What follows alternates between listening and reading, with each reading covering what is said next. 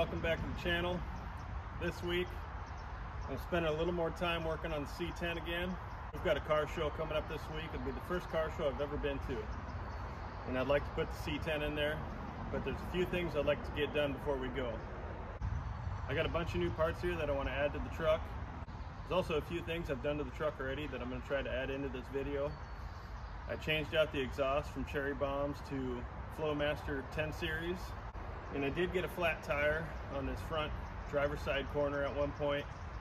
I just bought another one off Marketplace, threw it on there. Just so I have matching wheels, I'm gonna throw the other one back on. I put a new tire on it last night. We'll swap that back out. And uh, as far as what I have to put on there, I'd like to put a working tach in there. There's a bunch of weird wiring with these LS motors that I'm gonna have to try to do. We'll see if I can get that done. I'm going to be trying to put uh, hood hinges from Simple C10 on there. It was 150 bucks for the kit. And so we'll see if we can get that put on because uh, right now I've been using this bar, and I, but it's time to switch over to hood hinges. I did buy a line lock kit that I would like to throw in there. I don't know if I'm going to get to that this week before the show, so I'm not sure if I'll have that in this video as well as I also have a mini spool for the rear end. Again, I don't know if I'll get that in there this week. If I have time, I'll definitely try to put it in there. And then on top of that, I have some engine covers. Since I'm running a truck intake, it's uh, kind of ugly. We'll see if we can get those engine covers put on there, make it look a little better under the hood. Then last but not least, I may try to do a little bit more tuning. It does run pretty good right now but it's a dog down low. So I might do a little more tuning. We'll see if I can get to that as well. It runs and drives fine the way it is, but if I can uh, get it running a little better, great. If not, no biggie. So let's see how much we can get done this week before we go to the show. I also need to wash this thing. I haven't washed this thing since I bought it. That's been a couple years now. And I think it's time. I am planning on clear coating this thing down the road, but I definitely won't have enough time for that this week. So let's hop to it, and see how much we can get done. I'm at the point where I want to switch over from cherry bombs and I'd like to put 10 series Flowmasters in there. Before we do that, let's go ahead and uh, fire this thing up.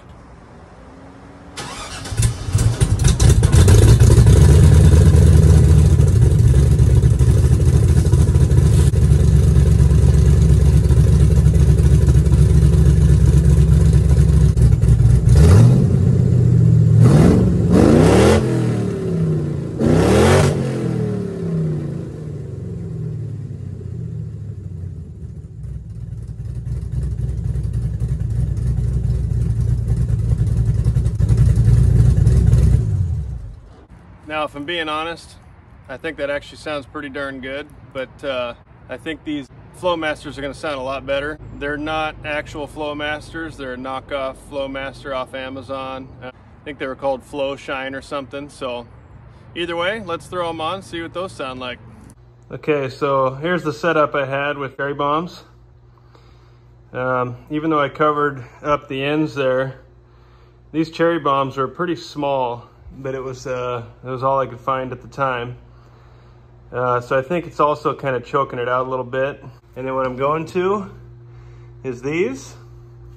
You can see the welds there, kind of like like the V shape, and then this side here is just a plate with a, a center hole there. You can see the V shape down there and there. Um, these here were, I don't know, I think they were 35 bucks a piece. I got some extra pipe right here too. Yeah, we're gonna go ahead and swap these out real quick. We'll do another sound check after that.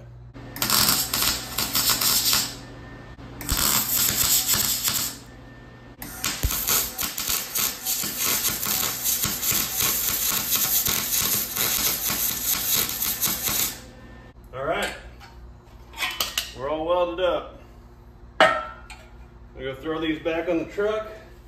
Okay, so I got the Flowmasters or Flow Shine mufflers put on the truck here. So let's go ahead and see what that sounds like now.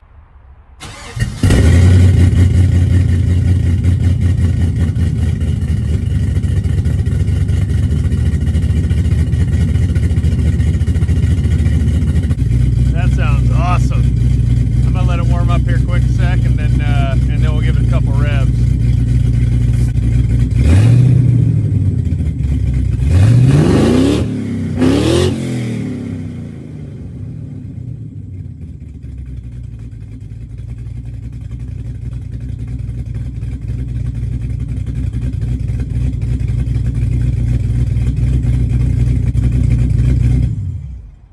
All right, yeah, I gotta say, I think that uh, to me that sounds a lot better than the cherry bomb, so I'm pretty happy with that. But you know, to each their own. Some people might like the others better. I think this sounds pretty darn good. Pretty happy with it. All right, I think I'm gonna start with changing this tire out. But before I do that, let's show you exactly what happened when I blew that other tire. And then we'll get this thing swapped out. Blew a tire on the C10 the other day. And as you can tell, that's no bueno. We're sitting right on the ground. So I found a local guy selling just one tire here. Pretty much the same size. Perfect. That'll work. Beautiful. Okay, let's get that one off of there. Now that's a brand new tire, but it just don't match. I'm gonna throw this this one on here that I threw a new used tire on. New to me. That way they all match and we're looking good going to the show.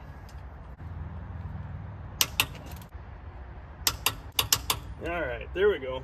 And so for the tach situation, I got this small little tach in here. It was in the truck when I bought it. I have no idea if it was good or not. I did hook it up to all the wires. We got power, ground, signal wire. Uh, I don't remember the other one, but oh, light maybe. Um, but when I turn it on,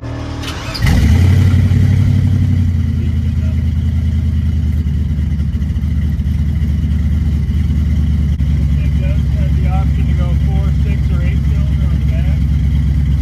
Supposedly these run on four.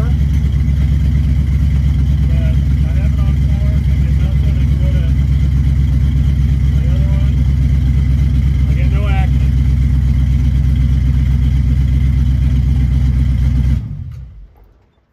So nothing on there.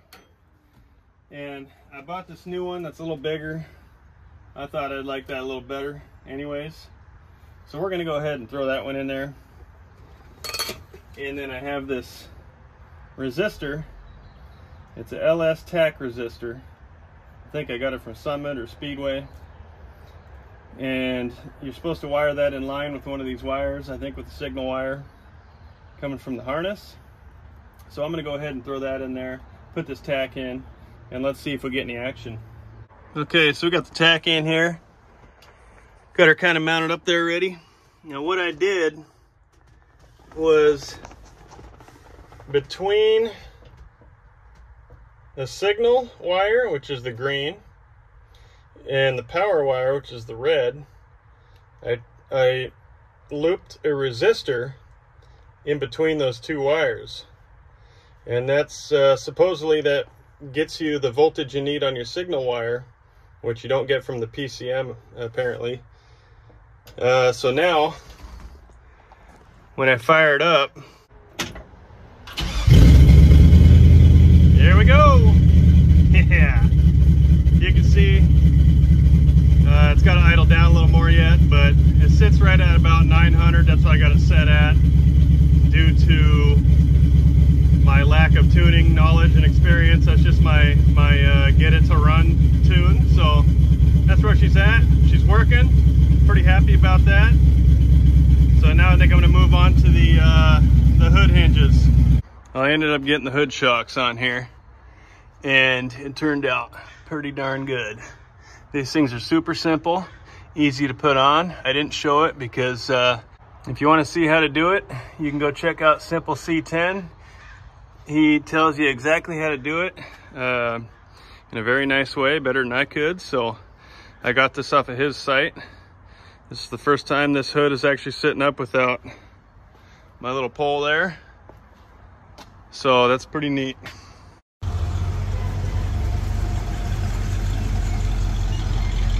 Got all the rust babies in a row here. Looking good.